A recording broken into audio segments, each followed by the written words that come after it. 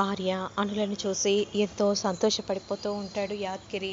ఇక సెంటే మాత్రం నిజంగా మిమ్మల్ని కలవటం నేను ఎప్పటికీ మర్చిపోలేను. మరి ఇక మేము వెళ్ళొస్తాము అనే విధంగా అంటూ వెంటనే అలా ఆర్య నడుచుకుంటూ వెళ్తూ ఉంటే నిజంగా ఆర్య అనులు మళ్ళీ పుట్టారు. ఇది అసలు కలనా నిజమా? నమ్మాలని అనిపించట్లేదు యాదగిరి. ఇదంతా నీ వల్లే. మళ్ళీ మేము చూడగలుగుతున్నామంటే ఇదంతా నీ వల్లే యాద్గిరి అని సండే అంటూ ఉంటాడు. యాద్గిరితో నాదేముంది సార్. అనే విధంగా యాద్గిరి అంటూ అలా ఆర్యను చూస్తూ ఉండిపోతారు. మరోవైపు మాత్రం ఒక కొత్త వ్యక్తి ఎంట్రీ ఇస్తాడు. ఒక రూమ్లో నడుచుకుంటూ వెళ్తూ ఉంటే మనకు అతన్ని చూపిస్తూ ఉంటారు. అంతలో జెలెండర్ ఫోటో అక్కడ పడి ఉంటుంది. ఆ జెలెండర్ ఫోటోని అలానే చూస్తూ ఉంటాడు. వెంటనే జెలెండర్ ఫోటోకి దుమ్ము పట్టి ఉంటుంది. తన చేతితో దుమ్మునంతటిని తీసేసి అలా చూస్తూ ఉంటాడు. వెంటనే నాన్న నేను నీ కొడుకు నాన్న నువ్వు పోతే నీ పగ ఎలా చేస్తుంది? చెప్పు నాన్న అని విధంగా అంటూ ఉండగా ఆ ఫోటోని అలానే చూస్తూ ఉంటాడు. అంతలో పాము వస్తుంది. అలా పాము వచ్చి అలా చూస్తూ ఉండగా వెంటనే ఆ పామును లటుక్కున పట్టుకొని పాము పగ ఎన్నాళ్ళకైనా పోదు కదా నాన్న అలాగే నీ పగ నేను నేను తీర్చుతాను నాన్న. మీరు ఆర్యవర్ధన్ వర్ధన్ అనే పేరుని నాశనం చేయాలని ఎంత ప్రయత్నం చేశారో కానీ నాశనం చేయలేకపోయారు నాన్న. అందుకే మీరు ఆవేశంతో మీరు ఏవేవో చేశారు కానీ ఆవేశంతో నేను చేయకూడదని నిర్ణయం తీసుకున్నాను నాన్న. ఎందుకంటే ఇక మనకు ఆ సమయం వచ్చేసింది నాన్న.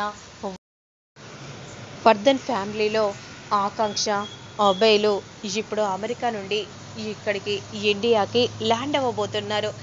ఇక వాళ్ళతో నేను స్నేహంగా ఉండి వాళ్ళని లేకుండా చేస్తాను. ఇక వాళ్ళు లేకుండా పోతే వర్ధన్ కుటుంబమే ఉండదు. అలానే నీ పంతాన్ని నేను నెరవేరుస్తాను నాన్న అనే విధంగా అంటూ ఉంటాడు జైలేందర్ కొడుకు. ఇక మరోవైపు మాత్రం ఇండియా నుండి ల్యాండ్ అయిపోతారు. అక్కి అబేలు ఇక వెయ్యి కళ్ళతో ఎదురు చూస్తూ ఉంటారు. జెండే బొకేతో పట్టుకొని అలా గుమ్మం ముందు ఎదురు చూస్తూ ఉండగా అందరూ కార్లు వచ్చి ఆగుతుంది. ముందుగా అజయ్ దిగుతాడు. అజయ్ని చూసి అందరూ చాలా సంతోషపడిపోతూ ఉంటారు.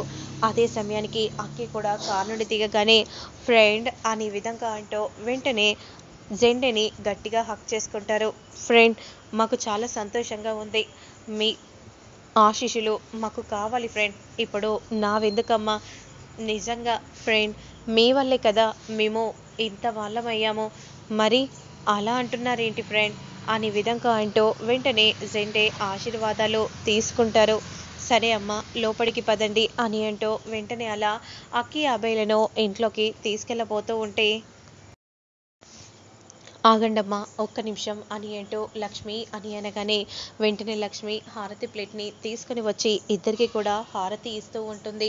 వెంటనే అలా గుమ్మం ముందు చూడగానే ఇంట్లో జరిగిన జ్ఞాపకాలన్నీ గుర్తు చేసుకొని బాధపడిపోతూ ఉంటారు. ఆ ఇంటిని అలానే చూస్తూ ఉంటారు. చిన్నప్పుడు గతంలో జరిగిన జ్ఞాపకాలన్నీ గుర్తు చేసుకొని మెవర వేసుకొని బాధపడిపోతూ వెంటనే ఇంట్లో అడుగు పెట్టగానే తల్లిదండ్రుల ఫోటోలను చూసి ఆ ఫోటోలకు దండలను చూసి చాలా బాధపడిపోతూ అలానే చూస్తూ ఉంటారు. బాధపడకండమ్మా. ఇక ఆర్యానులతో గడిపిన సంఘటన అంతా గుర్తు చేసుకొని బాధపడిపోతూ ఉంటే మీ బ్లెస్సింగ్స్ మీ పిల్లలకు అవసరం ఆర్యా. అను ఎక్కడ ఉన్నా సరే మీరు మీ పిల్లలని ఆశీర్వదించాలి. వాళ్ళ చదువు పూర్తి చేసుకొని ఇప్పుడు ఇండియాకు వచ్చారు.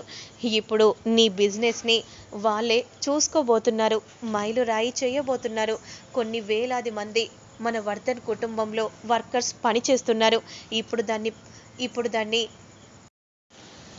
అక్కి ఆపేలే. మైలురాయిగా తీర్చబోతున్నారు అనే విధంగా జెండే అంటూ ఉంటారు. ఇక పదండమ్మా ఫ్రెష్ అవ్వాలి కదా. అసలే భోజనం కూడా చేయాలి. భోజనం అంటే మేము తినలేము. మాకు కాస్త వర్క్ ఉంది. ఏం వర్క్ అమ్మా? అంటే పార్టీ పార్టీనా? ఏం పార్టీ? ఏంటి? నువ్వు సడన్గా కక్కావేంటి అని అక్కే అంటూ ఉంటే అదేం లేదులేండి నాకు ఇప్పుడు తినాలని అనిపించట్లేదు. మేము వెళ్తాము అని అంటూ అక్కడ నుండి వెళ్తూ ఉంటే సరే అమ్మా ఫ్రెష్ అయ్యండి అని అనగానే అక్కి అబ్బాయిలో అక్క నుండి వెళ్తూ ఉంటారు. మరోవైపు మాత్రం అను దేవుడికి దండం పెట్టుకుంటూ ఉంటుంది. మరోవైపు అభయ్ మాత్రం అను ఆర్యాల ఫోటో ముందు వచ్చి బాధగా దీనంగా చూస్తూ ఉంటారు. అంతలో అను హారతి ఇవ్వబోతూ ఉండగా అమ్మ అని పిలవగానే వెంటనే అనుకి ఏదో తెలియని బాధ మొదలవుతుంది ఆగిపోతుంది. హారతి ఇవ్వకుండా అమ్మా నిన్ను చూడాలని అనిపిస్తుందమ్మా. నీతో గడిపిన జ్ఞాపకాలన్నీ గుర్తుకొస్తున్నాయమ్మా అని అభయ్ ఈ విధంగా అంటూ బాధపడిపోతూ ఉంటే అన్నయ్య బాధపడకన్నయ్య. అమ్మ ఎక్కడ ఉన్నా నాన్న ఎక్కడ ఉన్నా వాళ్ళ బ్లెస్సింగ్స్ మనతో ఎప్పటికీ ఉంటాయి. అంతలో సెండి కూడా వస్తారు. అవును ఆర్య అను పిల్లలు వచ్చారు. పిల్లలని దీవించండి అని విధంగా జెండే అంటూ ఉంటాడు. మరోవైపు మాత్రం అక్కి నాన్న అనే విధంగా అంటూ ఆర్య ఫోటోపై అలా చేయి పెట్టగానే ఆర్యకు కూడా ఏదో తెలియని భ్రమ ఏర్పడుతుంది.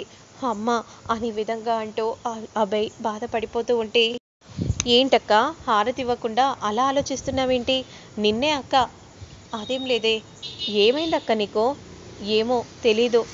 ఎవరో బాధగా పిలిచినట్టు అనిపించింది. ఎందుకో? నా మనసు దిగులుగా ఉంది. ఎందుకక్క? ఎందుకు ఏంటో తెలియదు కానీ మనసు మాత్రం ఎందుకో దిగులుగా ఉంది. నీకెప్పుడు మా మీదే ధ్యాసక్క? సరేలే నువ్వు అవన్నీ పక్కకు పెట్టు. దేవుడికి హారతి ఇవ్వక్క